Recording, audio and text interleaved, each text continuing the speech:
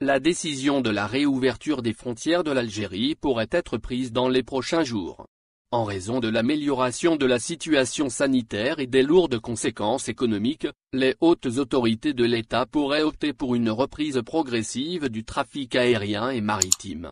Un protocole sanitaire strict sera soumis à l'approbation du comité scientifique qui définira les conditions et les dispositions de la levée des restrictions.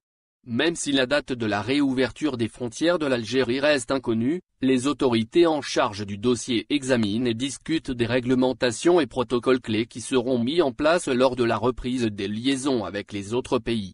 Le protocole de santé et de sécurité vise à fournir aux voyageurs et aux citoyens des normes minimales à appliquer au quotidien.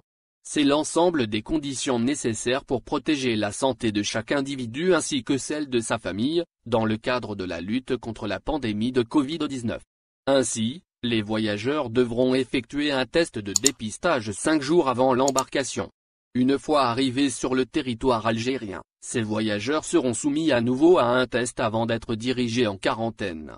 C'est au bout d'un troisième test négatif qui sera effectué au milieu de son séjour que le passager sera autorisé à circuler librement.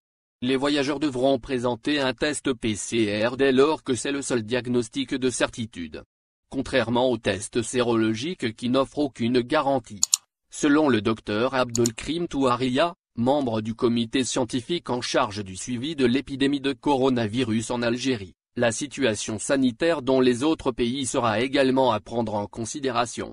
Ce qui suppose que l'Algérie pourrait établir une liste rouge des pays dont les ressortissants seront interdits d'accès au pays.